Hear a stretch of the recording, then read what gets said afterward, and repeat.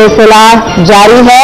मोगा के गुरप्रीत सिंह कोमल ने दुनिया के सबसे बड़े पेंट ब्रश से वर्ल्ड कप की तस्वीर में रंग भरकर टीम इंडिया को शुभकामनाएँ दी। भारतीय क्रिकेट टीम को पेंट ब्रश समर्पित करने वाले गुरप्रीत ने दावा किया है कि पेंट ब्रश दुनिया में सबसे कम भार वाला और सबसे लंबा है।